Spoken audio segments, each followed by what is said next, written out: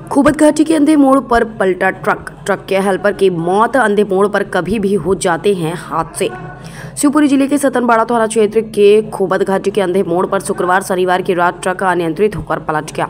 इस हादसे में ट्रक की चपेट में आने से हेल्पर की दर्दनाक मौत हो गई। सतनबाड़ा थाना पुलिस ने मामला दर्ज कर शव को पोस्टमार्टम के लिए भेज मामले की जाँच शुरू कर दी है। जानकारी के मुताबिक प्लाई से भरा ट्रक क्रमांक R J one one J C zero two five zero Gwalior से गुना की ओर जा रहा था।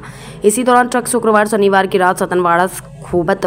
घाटी के अंधे मोड़ पर अनियंत्रित होकर पलट गया। इसी दौरान ट्रक के कैबिन में सवार ट्रक का हेल्पर कैबिन के बाहर फिक गया था और ट्रक की चपेट में आने से हेल्पर धौलपुर के रहने वाले नरेश बखेल तीस वर्ष की मौत हो गई। सूचना के बाद सतनबाड़ा पुलिस ने मामला दर्ज कर मौके पर पहुँच कर ट्रक के हेल्पर नरेश के सबको पोस्टमार्टम हाउस भेज मामले की जाँच शुरू कर दी है। इस मोड़ पर अक्सर दुर्घटनाएँ होती रहती हैं।